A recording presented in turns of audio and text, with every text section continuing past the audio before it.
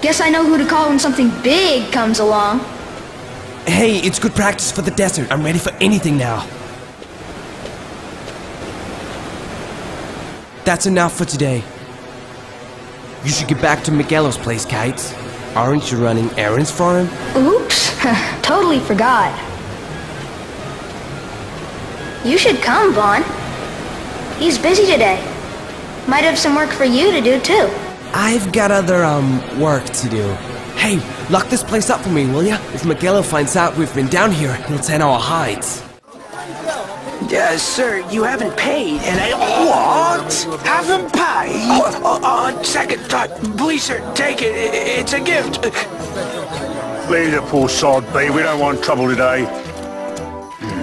Your luck, peddler. Oops, sorry. What you going, Churl? What? My pouch! It's gone! The boy! Get out the way!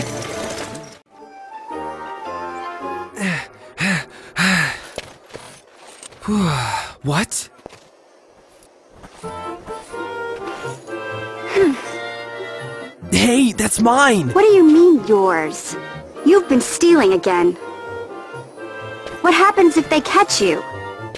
We need you to be there for us, Vaan. You're no good to anyone if you're locked away in a dungeon. Oh, what? Am I the leader now?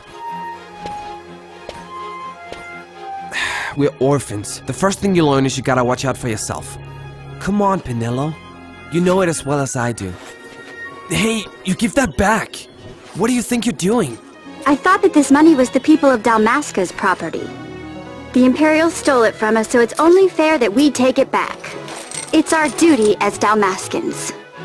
Well, wasn't that what you said? Yeah, but I never said anything about taking it back from me.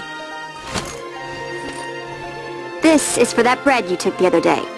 Just because I help Migelo out every now and then, it doesn't mean that you get to eat for free too, you know. I know that. You think I like living like this?